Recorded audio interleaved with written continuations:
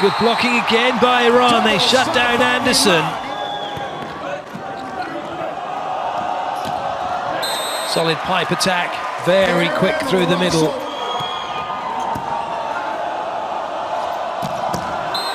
Big heavy swing by DeFalco.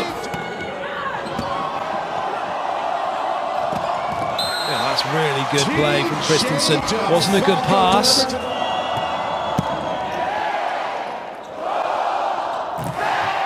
Massive block, first block for the USA in the game. Jendryk and Anderson.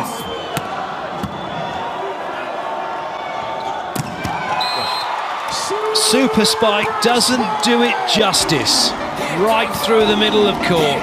It's a free hit. It's an incredible spike.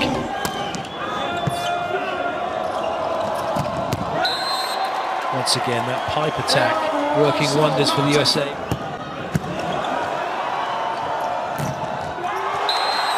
DeFalco is put down. So run up by two now.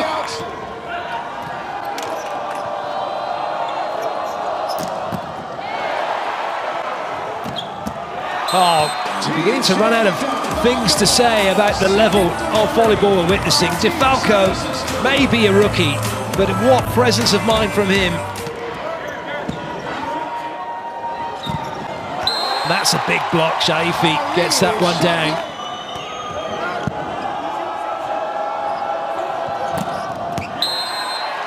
Anderson makes that spike look so easy.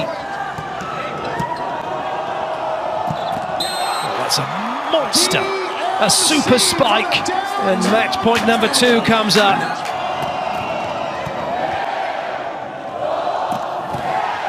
Good dig. There's a swing of sorts here. And it's been done by Anderson. He's got the ball down. USA have the point. They take the set 26-24 and they've beaten Iran by three sets to nothing.